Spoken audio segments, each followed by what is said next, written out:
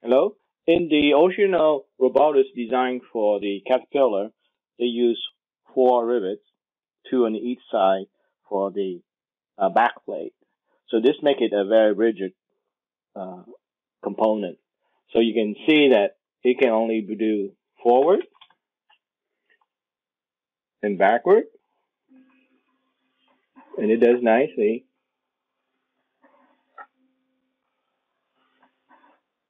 You can do backward. But it cannot turn left.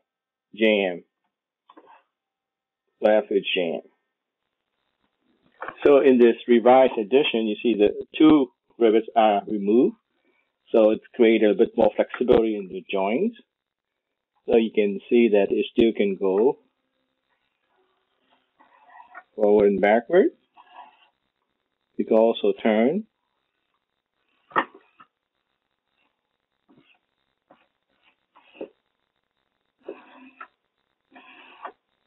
See, you can turn the other way.